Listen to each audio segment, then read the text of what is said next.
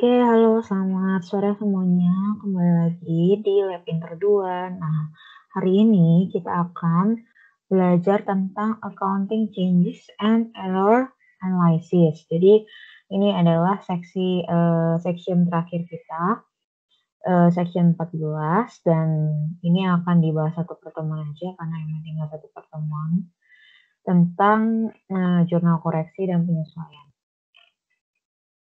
Oke, kita langsung masuk aja ke problem 3. Karena pasti kalian itu sebenarnya udah dapet dasarnya di AD1 atau AD2 dan sebagainya tentang jurnal penyesuaian dan jurnal koreksi. Oleh karena itu, uh, ke depannya ini juga bakal dipakai. Cuma memang kan kita kan sekarang udah kenal banyak transaksi ya.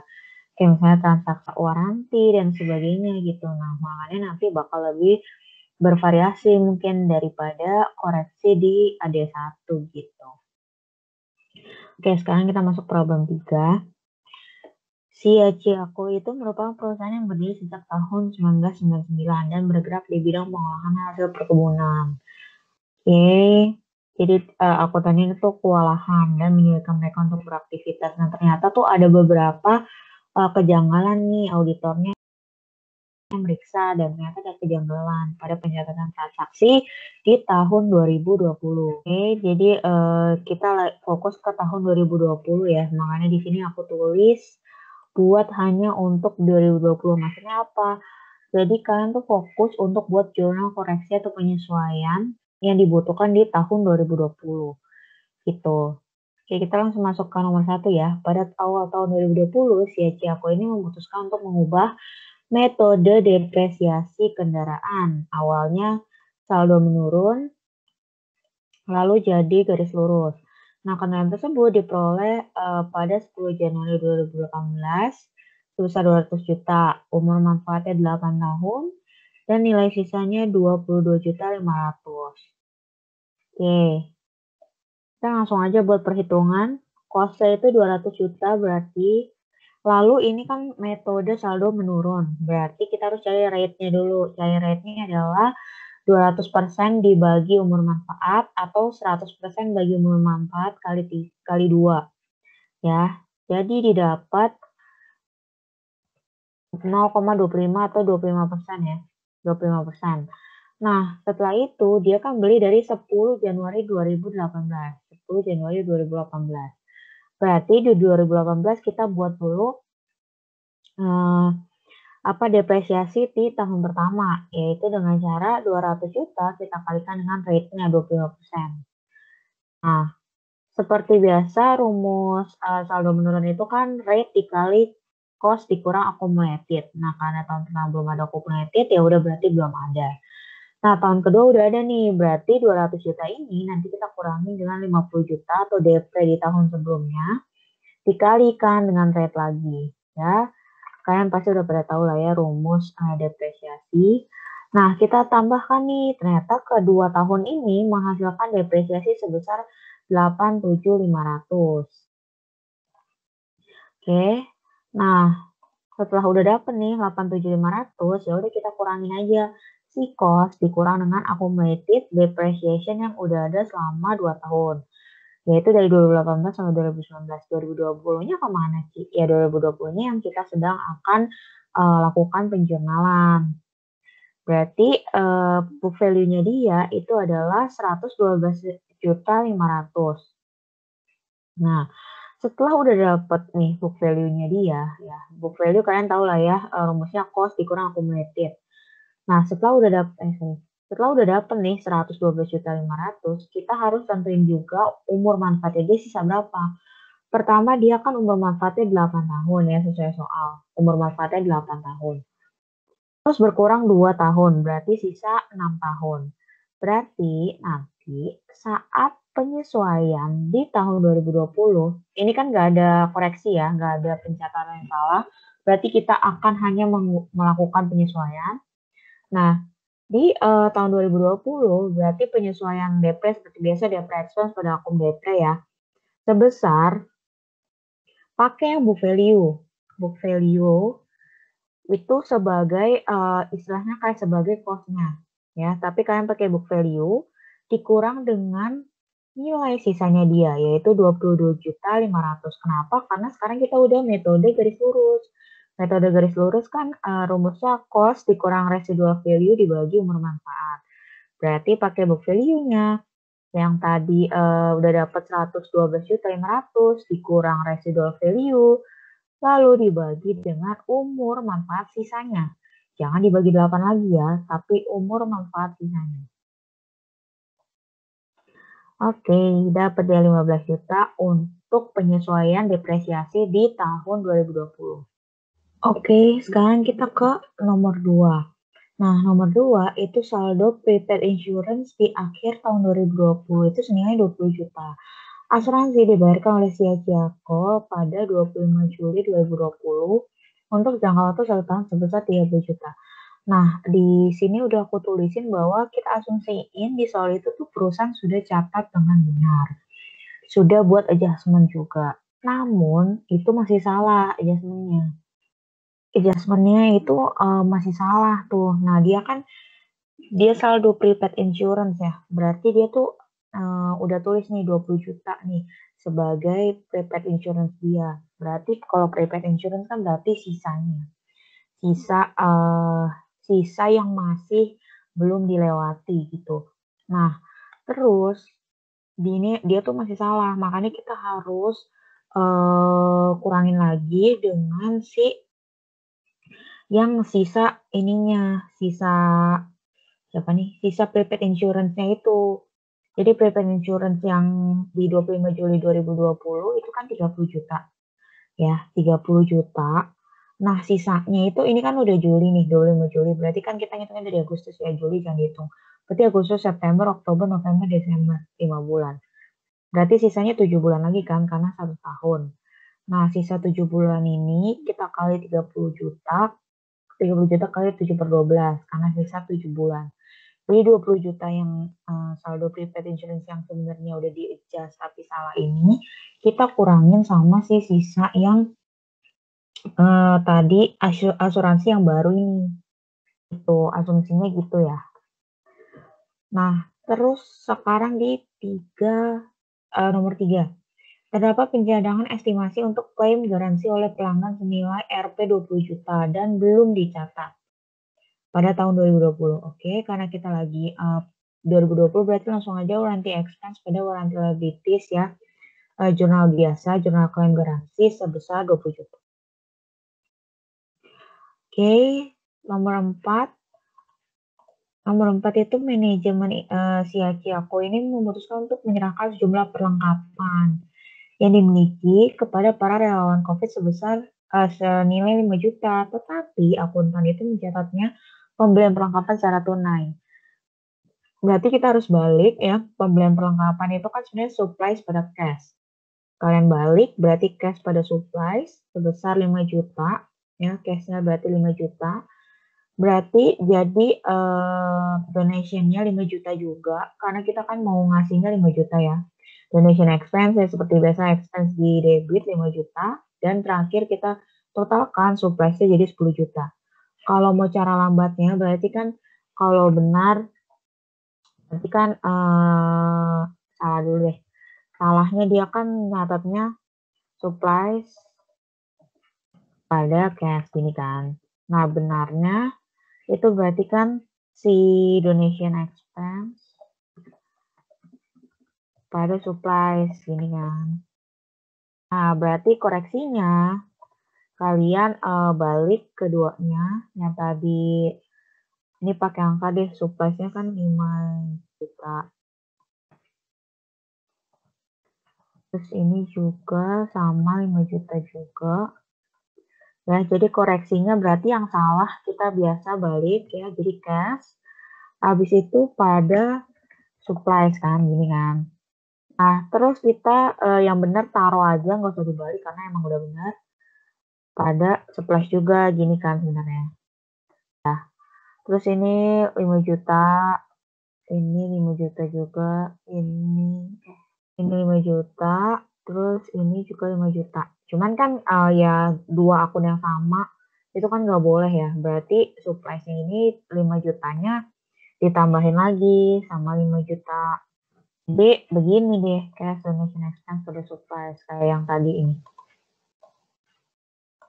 Gitu. Itu cara lamanya. Cuman cara cepatnya ya uh, langsung aja otaknya uh, logikanya supply pada cash-nya berarti supply-nya kan kita berkurang 10 juta karena tadi ada kesalahan 5 juta dan harus ngasih 5 juta juga. Cash yang tadi 5 juta yang tadinya di kredit kita taruh di debit karena salah dan donation expense-nya juga di debit gitu. Oke, sekarang kita ke nomor 5. Nomor 5 perusahaan melakukan renovasi gedung kantor dan pergantian suku cadang mesin sebesar 10 juta dan 15 juta tetapi tidak menambah masa manfaat gedung. Yang nambah itu masa manfaat mesin. Ya udah berarti yang tidak menambah kita masukin expense yaitu repair and maintenance expense sebesar 10 juta. Nah, 15 juta ini kan untuk mesin. Nah, mesinnya bertambah nih. Berarti kita kapitalisasikan ke aset tetapnya yaitu mesin sebesar 15 juta. Jadi bagi uh, biaya yang menambah masa manfaat, kita akan selalu kapitalisasikan ke aset tetapnya. Ya udah uh, kreditnya cash. Oke. Okay. Setelah itu nomor 6, pelanggan kesulitan untuk melunasi utangnya karena situasi ekonomi lesu. Oke, jadi si Aciako ini memutuskan untuk meniadakan penjualan tunai. Pada awal bulan Oktober, perusahaan melakukan penjualan dengan wesel tagih uh, sebesar 30 juta dengan bunga 5%, 5% per tahun. Nah, hingga kita akuntan belum melakukan pencatatan atas penyesuaian utang bunga. Ya udah penyesuaian utang bunga seperti biasa, interest receivable pada interest revenue, kalian tinggal kalikan 30 juta kali bunganya 5%. Lalu dari awal Oktober, Oktober, November, Desember berarti 3 per 12. Penyesuaian bunga biasa ya. Oke, nomor 7 jadi perusahaan itu membeli membeli peralatan yang dengan perkiraan umur manfaat 4 tahun sebesar 100 juta secara kredit, tetapi akuntan mencatat pembelian tunai sebesar 70 juta. Perusahaan menyusutkan peralatan dengan menggunakan metode selalu menurun ganda. Oke, jadi uh, ini cara cepatnya ya. Cara cepatnya berarti dia kan uh, awalnya itu yang salah itu dia catatnya pembelian tunai 70 juta. Berarti kan equipment pada cash. Berarti cashnya kalian harus uh, hapus dulu nih di debit. Yang tadinya di kredit kalian harus hapus dulu di debit sebesar 70 juta itu yang salah ini.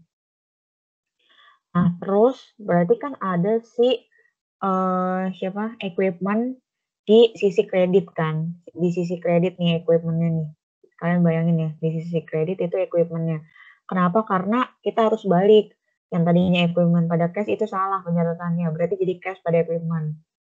Nah, equipmentnya di, di kredit itu sebesar 70 juta. Nah, terus dia ada beli yang benarnya itu 100 juta secara kredit. Berarti di debit itu ada 100 juta nih equipment.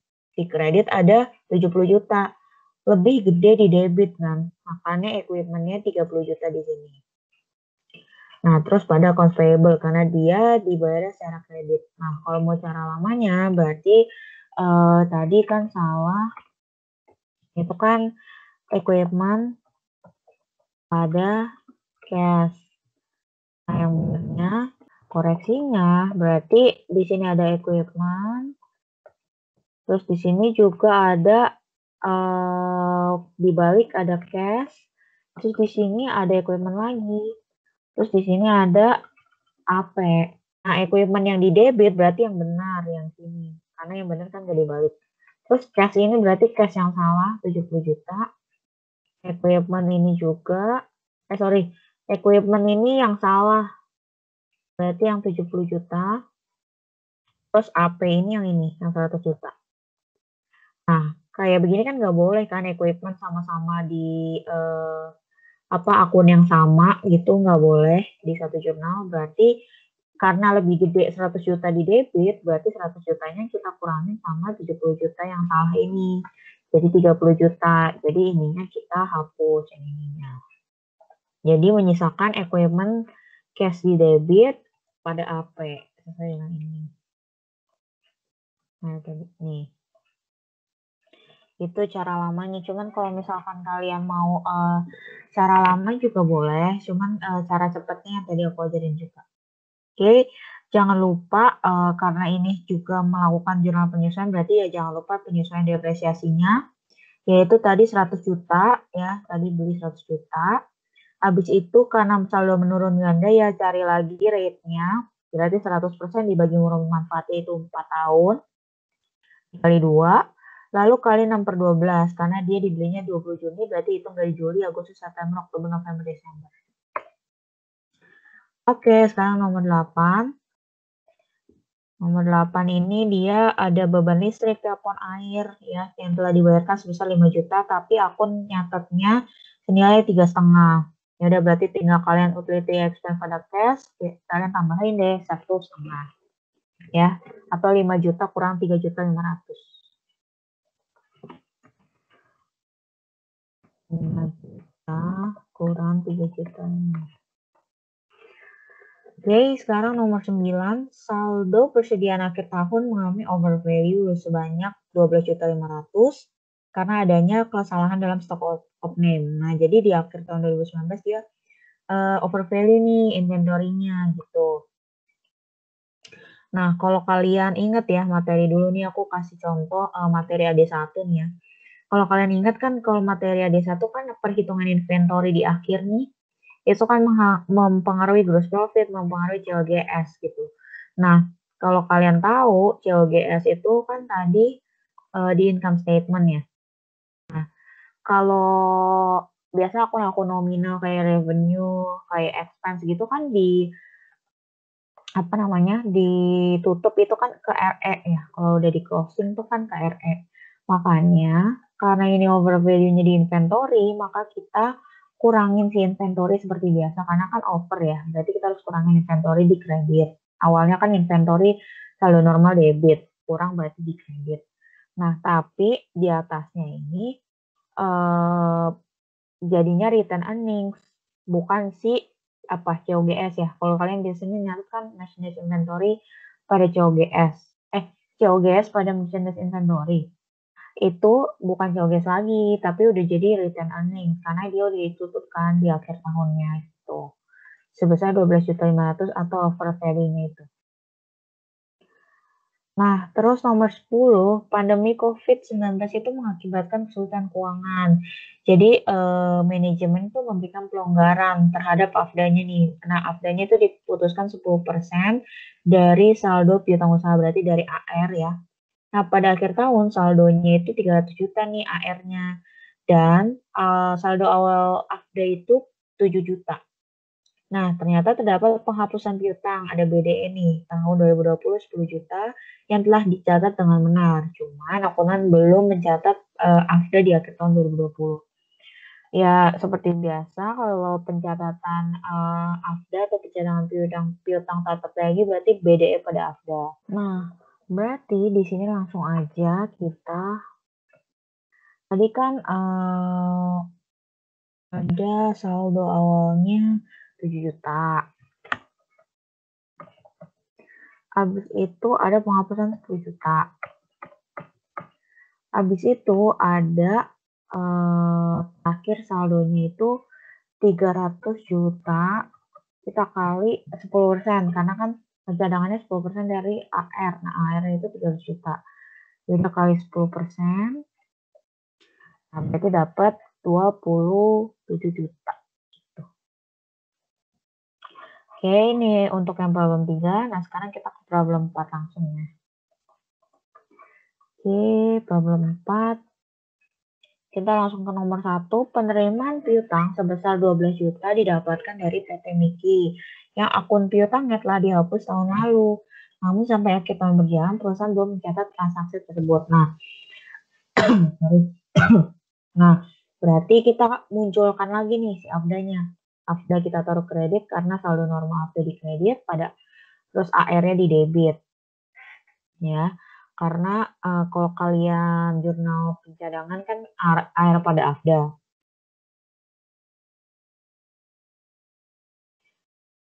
Cuman kemarin sempat dihapus nih tahun lalu. Nah, sekarang dimunculin lagi. Jadi air pada update bisa 12 juta sesuai soal. 20 juta.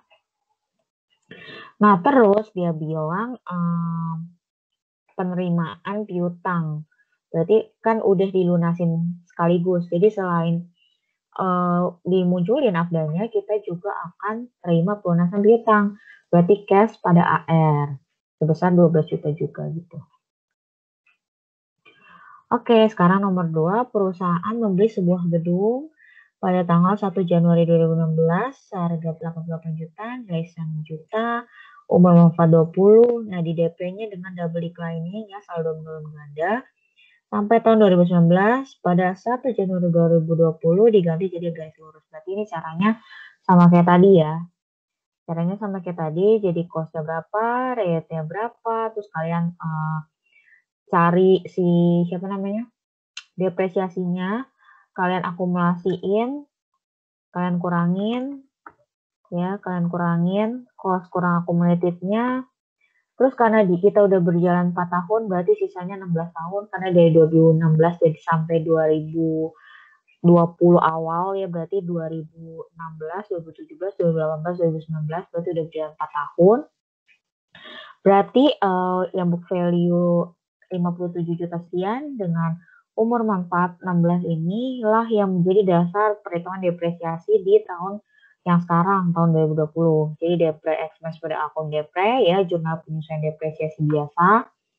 Lalu kalian uh, berarti book value-nya ini dikurang dengan residual value 6 juta dibagi dengan umur manfaat sisanya gitu. Sama persis kayak yang tadi ya. Nah, sekarang nomor tiga, pembelian inventory sebesar 5 juta, 70 persennya dibayar tunai, sisanya kredit.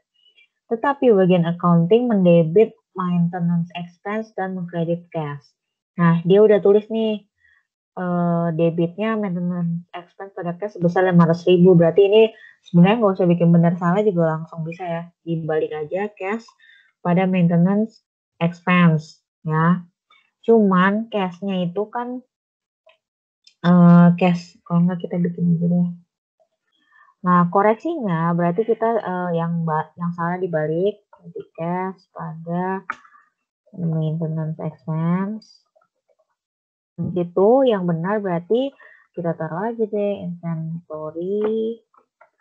Terus ada juga cashnya lagi dan ada juga accounts payable-nya. Nah, cash yang di sini berarti ngambil dari yang ini yang tadi dibalik, inventory ini ini, maintenance expense ini, cash ini yang di kredit ini yang uh, eh, 3.500, terus accounts payable yang ini. Nah, seperti biasa, cash dengan cash nggak boleh ada dua akun yang sama di satu jurnal, makanya kita uh, yang ini kita eliminasi.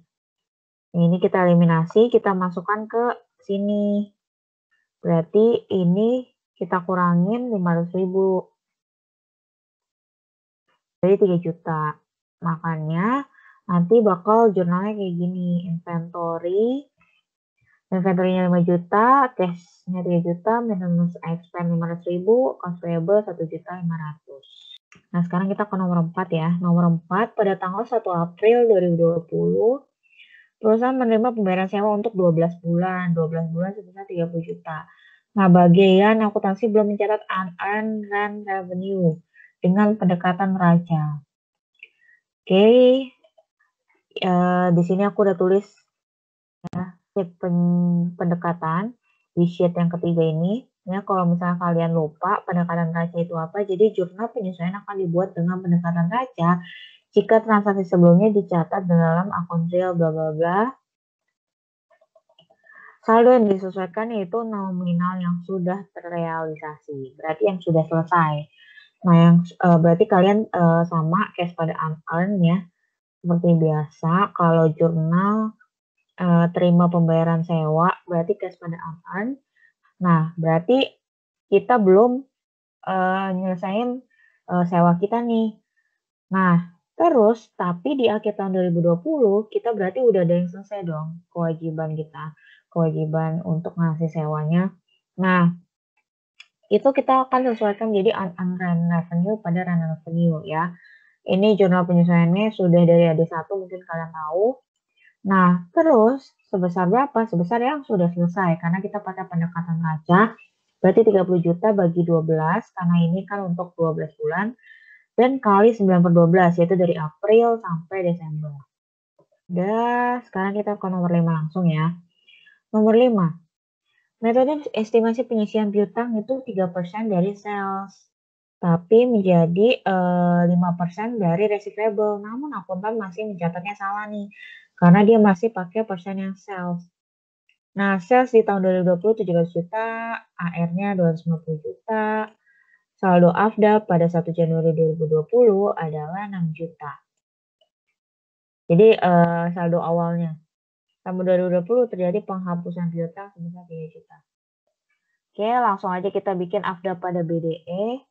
Ya. Kenapa AFDA pada BDE? Karena kita harus kurangin, karena salah. Salahnya di mana? Tinggal kita kurangin aja 21 juta. 21 juta ini dapat dari mana? Oke, aku tulis di sini. Saldo yang salah. Saldo yang salah berarti kita masih pakai percent of sales. Berarti 3% dari sales. 3% dari sales. Salesnya itu 700 juta yang ini ya. Nah, saldo yang benar berarti persennya dari receivable, 5% dari receivable, berarti 5% dari 250 juta. Berarti 5% dari 250. Berarti 12 setengah juta. Ya udah berarti tinggal 21 juta kurang 12 setengah juta. Ini. Itu deh. Oke, sekarang kita ke nomor 6. Perusahaan memiliki franchise dengan jangka waktu 8 tahun. Jadi franchise, nah e, diterimanya awal tahun 2015 dengan kos 80 juta. Tahun 2020, akuntan telah menyusutkan franchise dengan mendebit depreciation expense pada paten. Berarti salah ya. Jadi langsung aja kalian balik uh, depreciation expense pada patennya berarti jadi paten pada depreciation expense sebesar berapa? Tulisan 4 juta yang udah dikasih tahu soal. Ya, kalian tinggal balik aja ini keduanya. Terus kalian jurnal yang benar, yaitu amortisasi expense pada franchise. Sebesar 10 juta didapat dari 80 juta. Ya, sesuai sama soal nih, kosnya 80 juta dibagi 8. Nah, 8 tahun ini. 80 juta, 8 tahun. Oke, sekarang nomor 7. Nomor 7 Nomor 7 itu dia uh, untuk mengembangkan usahanya pada tanggal 16 Desember 2020 minjam uang nih ke bank. Ya, dia minjam uang ke bank dengan menerbitkan wesel dengan nominal uh, sebagai berikut. Ya, jadi dia nominalnya 90 juta, bunganya 8%, jangka waktunya 90 hari. Nah, accrued interest atas wesel tersebut ternyata belum dicatat. Nah, Oke, berarti kita kan uh, eh kok yang utilities. Oke, berarti langsung aja interest expense pada interest payable karena uh, kita yang harus bayar kan. Bukan kita yang dapat interest revenue, tapi kita yang harus bayar berarti interest expense pada interest payable ya karena ini accrued interestnya belum dicatat nih sama bagian perusahaan. Ya udah sebesar berapa? Berarti 90 juta kali 8%, ya bunganya 8%, kali 31 kurang 16. Kenapa 31 kurang 16? Karena dibilang uh, jangka waktunya 90 hari. Dan ada asumsinya nih 360 hari. Berarti kita pakai hari ya, jangan pakai bulan. Berarti 31, 31 kurang 16. 31 kurang 16. Ini harusnya 30 ya. Karena asumsinya 360 hari. Berarti 30 kurang 16 per 360 karena asumsinya 360 hari. Oke, nomor 8, beban listrik bla bla bla 16 juta akan dibayar pada 12 Januari 2021 berarti udah lewat ya, udah lewat tahun nih. Nah, terus gimana? E, dicatatnya. Berarti kita harus catat nih accrued-nya. Berarti utilities expense bukan pada cash, tapi pada accrued expense. Karena apa? Karena kita mau bayarnya nanti di 2021. Sedangkan kita sekarang masih di 2020. Makanya jadinya utilities expense pada accrued expense sebesar 16 juta. Oke, nomor 9, pada tanggal 1 Agustus 2019, ada pembayaran asuransi nih untuk gedung kantor selama 2 tahun. 2 tahun itu periodenya dari 1 Agustus 2019 sampai 31 Juli 2021 sebesar 48 juta. Nah, perusahaan melakukan kesalahan karena nyatet seluruh beban itu jadi insurance expense. Tidak ada jurnal lainnya yang dicatat selama 2019 dan 2020 terkait beban asuransi. Oke, berarti yang pertama itu uh, karena belum ada jurnal yang dicatat selama 2019, berarti kita harus jurnal yang 2019 dulu. Oke, berarti karena insurance expense sudah ditutup ke return earnings, berarti kita akan mengkredit return earnings dan ininya prepare insurance sebesar berapa? Sebesar 38 juta. 38 juta ini dapat dari mana? dapat dari tadi kan 48 juta. Habis itu uh, kita udah lewat berapa lama? Kita udah lewat 5 bulan nih dari Agustus, September, Oktober, November, Desember. Terus kita bagi bagi dua dulu ya, 48 juta bagi dua, karena ini kan per dua tahun, dikali 5 per 12. Nah, 10 juta berarti sisa prepaid insurance itu 38 juta. Jadi uh, istilahnya kita berarti pakai pendekatannya yang ini ya, pendekatan yang yang laba rugi ya, pendekatan laba rugi. Jadi yang belum belum realisasi itu ada 38 juta. Ya, jadi prepaid insurance pada insurance expense sebenarnya kan, cuman karena eh, apa namanya? Karena belum ada pencet eh sorry, karena insurance expense-nya itu udah ditutupnya ke RE, berarti kita pakainya RE. Jadi ya, dia kan bilang perusahaan melakukan kesalahan dengan mencatat seluruh beban tersebut sebagai insurance expense. Nah, berarti insurance expense-nya itu yang kita kurangin gitu. Makanya ditaruhnya di debit. Eh, di debit, di kredit. Karena awalnya kan di debit. Salah, dikurang, taruh di kredit. Gitu. Terus kita juga akan jurnal yang tahun ini. Berarti insurance expense pada prepaid insurance sebesar berapa? Sebesar 20 juta, eh 2 juta dikali 12 2 juta itu dapat dari mana 48 juta bagi 2 ya. Atau bisa aja ya 48 juta dibagi 12 gitu juga bisa. 48 juta bagi 2 maksudnya ya. 48 juta bagi 2 juga bisa. Ya.